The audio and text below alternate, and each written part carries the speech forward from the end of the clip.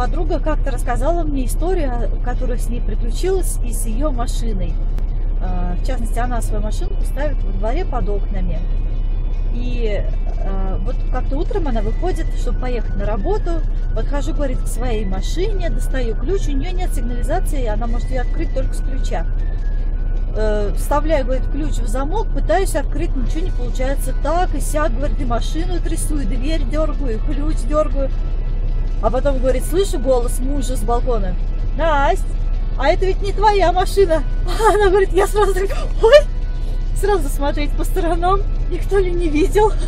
Быстренько оттуда тут, тут, тут, тут, ушла, нашла там свою машину, оказывается, ее машина стояла дальше.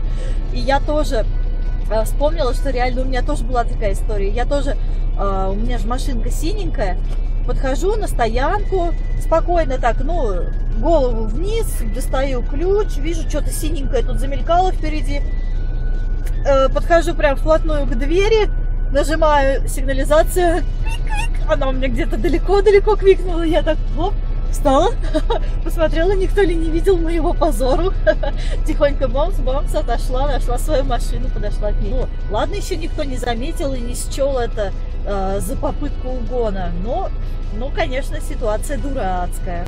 И главное, в этот момент чувствуешь себя так по-дурацки, как-то нелепо совершенно, вообще. Вот такие дела бывают.